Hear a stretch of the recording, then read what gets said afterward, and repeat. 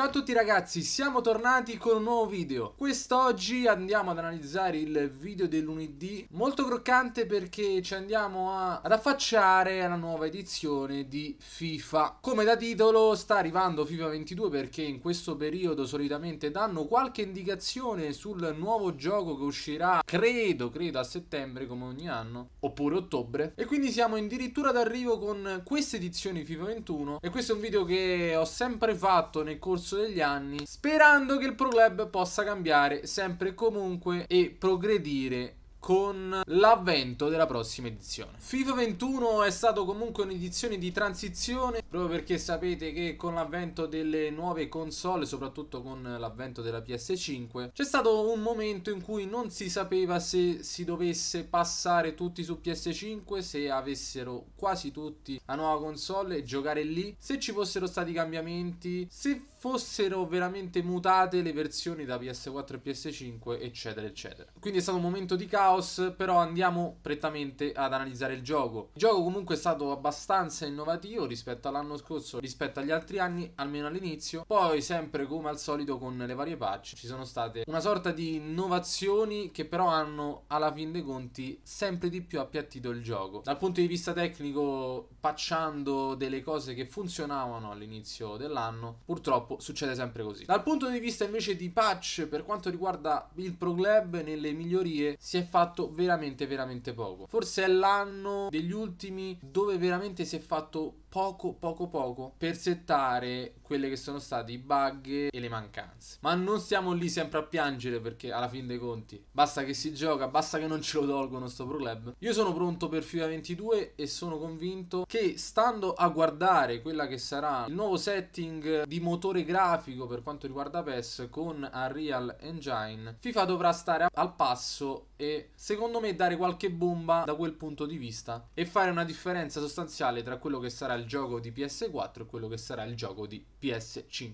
Prima di andare a vedere cosa manca effettivamente su FIFA 21 e cosa vorremmo vedere su FIFA 22, volevo analizzare al volo quello che è FIFA 21, soprattutto dal punto di vista tecnico cosa manca. Questo è stato il gioco degli autoblock, ragazzi. Quindi, quando si faceva un'azione per andare al gol, il difensore avversario si opponeva anche sulla linea di porta in maniera automatica.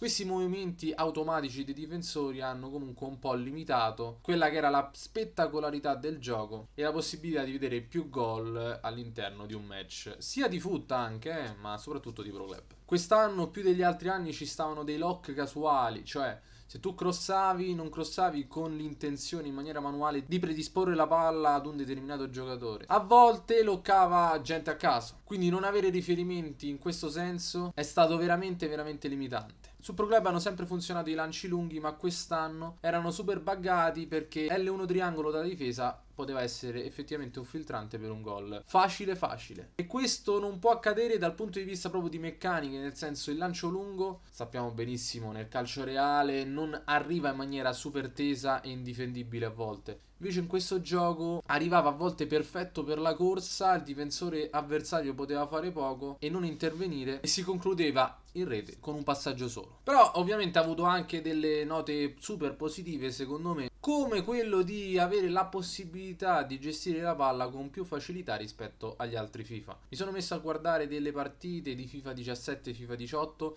per alcuni casi, alcuni contesti, alcune azioni ho visto un gioco superiore, ma per altre cose come per esempio la fase di possesso, quindi gestione, palla coperta, palla scoperta, palla da destra a sinistra e viceversa, in questo gioco ci sono stati dei miglioramenti netti, ve lo posso assicurare. Ogni squadra aveva la possibilità di giocare in contropiede ed era molto molto efficace o comunque poter gestire la palla e cercare di fare una trama molto molto lunga, aumentando il possesso e aumentando la possibilità di segnare. Tutto questo ovviamente è super collegato con la gestione dei passaggi, gestione palla, ossia passaggi molto buoni. Che a volte, come abbiamo detto prima, non locca tra virgolette in maniera giusta, però i passaggi, anche quelli tesi, erano molto molto precisi. Proprio per questo io darei una spunta positiva per questo aspetto. E poi da non sottovalutare questa cosa perché è stato un vero problema negli scorsi FIFA, in questo FIFA si poteva giocare sia con il bot alto sia con il bot basso. Questo è importantissimo ragazzi perché mi ricordo un FIFA dove tutti giocavano 1,92 e non stiamo parlando solo dei giocatori difensivi, bensì anche quelli che giocavano in attacco. Si sono visti vari bot, eh, anche come proprio setting, no? Alti 1,92 alti 1,62, alti 1,77. C'è stata una varietà che comunque ho apprezzato molto. Anche perché abbiamo portato più contenuti e voi avete gradito. Quindi, come ogni gioco, come ogni ambito, ci sono i pro e ci sono i contro. Ma in tutto questo noi abbiamo analizzato solo la parte tecnica. Adesso andiamo ad analizzare invece la parte proprio dell'ambito Pro Club e cosa servirebbe in più, oltre l'aspetto tecnico, a questa modalità. Vediamo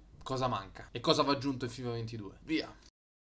Ragazzoni, eccoci qua e ringraziamo Virtual Pro Gaming perché questo video è nato dall'intento di tradurre quello che era, tra virgolette, il concetto di un post che è uscito su Twitter di questo portale che comunque ormai vive nel Pro Lab da tantissimo tempo ha dato degli input interessanti che voleva analizzare. Hanno giustamente pensato che in FIFA 22 ci dovesse essere la possibilità di partecipare a una Weekend League del Pro Lab. Vedete qua vicino a me una schermata dove si può ipotizzare un setting no? dove poter scegliere di partecipare alla Weekend League, avere altri tipi di stats, altri tipi di informazioni. La Weekend League ovviamente aggiungo a questa nota che hanno inserito loro Potrebbe anche avere un altro format, potrebbe avere anche un'impostazione che non duri solo tre giorni, bensì potrebbe essere una weekend league allungata, potrebbe abbracciare anche il giovedì, potrebbe essere veramente una week pro club, cioè una settimana di quattro al mese dove si compete e puoi partecipare tutti i giorni per inserirti in una ipotetica classifica mondiale, europea, regionale, quello che sia. Il reparto competitive che manca perché giocare in divisione, giocare in coppa, giocare solo in amichevole alla lunga stanca. Purtroppo è così. Non me ne vogliono tutte le competizioni nazionali che sono esterne da Electronic Arts,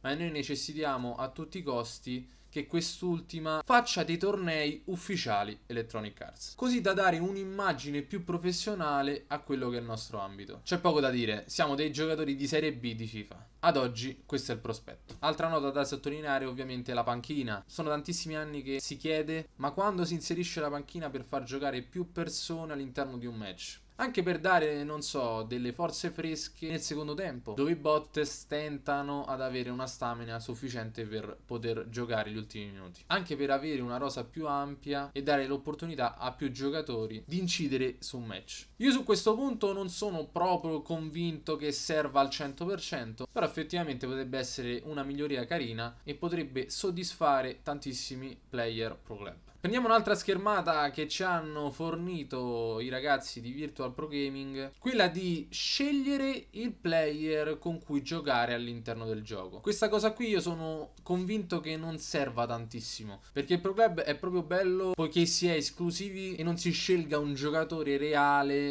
come in questo caso vedete in basso a sinistra Neymar. L'esclusività del bot sia dal punto di vista estetico sia dal punto di vista di skill points è il punto di forza di questa modalità e non lo cambierei mai. Probabilmente sì, magari dare la possibilità di scegliere tra vari setting non solo dal punto di vista di skill points ma anche dal punto di vista estetico. Cioè noi abbiamo 5 slot per scegliere DC, ATT, GK, terzino, perché non metterlo anche dal punto di vista estetico? Non credo che sia un qualcosa di impensabile. Però la cosa interessante che abbiamo detto anche su Instagram è che potrebbe essere un'idea avere un'impostazione della lobby magari simmetrica come vediamo qui.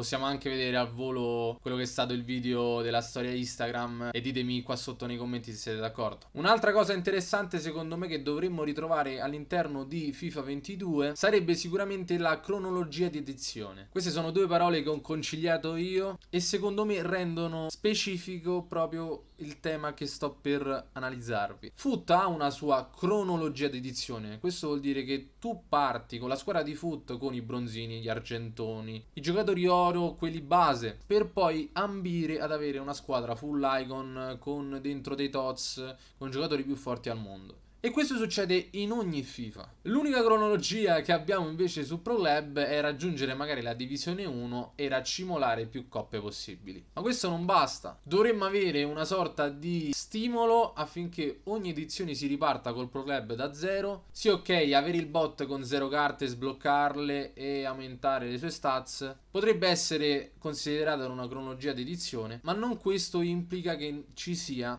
un motivo per giocare fino a luglio-agosto. Magari avere delle deadline, magari avere degli eventi, non per forza fisici ci mancherebbe, ma anche multimediali, potrebbe dare uno scopo, una voglia in più di accendere FIFA per giocare a Pro Lab. Un'altra cosa interessante che vorrei vedere in FIFA 22, io ovviamente parlo in nome di tutti, spero che siate d'accordo, è avere delle linee guida più specifiche e più comprensibili e dettagliate. Sì, perché finora c'è stato un copia e incolla nelle varie edizioni dove si ripetevano tutte le regole basiche scritte in pochissime righe. Per quanto riguarda le nozioni del Pro Club, cosa si può fare, cosa non si può fare, cosa va contro le regole di Electronic Arts, perché vengono imposte, qual è lo scopo. Insomma, regolamentare il più possibile quello che è il comparto Pro Club, un po' come succede nelle altre modalità come la carriera o come foot. Almeno io so quale video posso portare, quali tornei, a quali tornei posso partecipare, così da avere ben chiaro a tutti come muoversi nel Pro Club. Ultima nota che volevo enunciarvi riguarda invece le futures, che sono poi le caratterizzazioni del gioco. Vediamo a fianco a me lo scorrere magari di alcune immagini dove facciamo vedere delle caratterizzazioni che potrebbero essere incluse all'interno di FIFA 22. Potrebbero esserci ovviamente nuove caratterizzazioni specifiche, personalizzazioni, come creazioni di loghi in maniera più organica, avere delle maglie esclusive avere degli stadi magari per ciascuna squadra differenti, avere non so i tatuaggi, avere altri edit e un comparto editor migliorato. Insomma, sono tre anni che abbiamo lo stesso prospetto, la stessa facciata, cambiata solamente del background, no? Tra un gioco e l'altro. Abbiamo bisogno che si includano novità dal punto di vista non solo meccanico, ma anche dal punto di vista estetico, per dare un senso, ripeto, come ho già detto prima, a chi accende FIFA di andare a vedere insomma cosa succede all'interno del Pro Club, seppur si preferiscano magari altre modalità. Fatemi sapere qui sotto se siete d'accordo, se avete in mente altre cose. Spero che vi sia piaciuto il video e andiamo ai saluti. Ragazzi anche per quest'oggi abbiamo finito con il video, spero che vi sia piaciuto. Lasciate il like, attivate la campanellina qui sotto per questi tipi di video e molti molti altri. Il ProLab su YouTube siamo noi ma cerchiamo di incrementare ancora il seguito. Condividete questo video e molti altri su Whatsapp, su Telegram, dove volete voi, perché la vostra spinta è importantissima. Volevo fare una nota prima di chiudere questo video. Siamo sicuri che la via migliore affinché si progredisca in questo senso con il calcio virtuale sia migliorare il Pro Club? Io non sono tanto sicuro. Noi viviamo per il Pro Club perché questo canale, vedete, ha la sua dicitura all'interno proprio del nome del canale. Ma se il Pro Club fosse uno spunto per un altro Pro Club? Chissà. Con questo dubbio amletico vi lascio così pensare. Un saluto da Johnny. Ciao.